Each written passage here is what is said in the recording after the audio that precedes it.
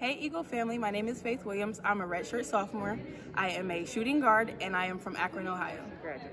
I am a kinesiology major with a concentration in sports medicine, and once I graduate, I plan on obtaining my master's degree and um, getting certified in sports medicine. Uh, my most memorable game day experience would be Iowa. Um, we go there every year, and last year was my obviously my first year playing in the type of atmosphere that I did play in.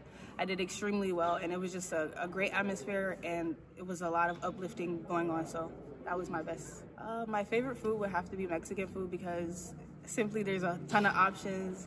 It could be anything. It's always a craving, so that's why I chose that.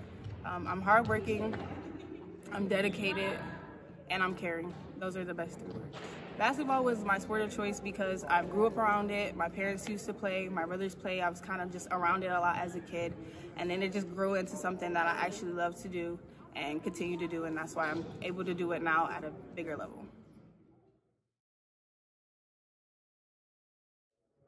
Hello, Eagle family. My name is Morgan Callahan.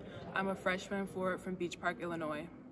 My major is pharmaceutical sciences, and after I graduate, I plan on going to pharmacy school. Why?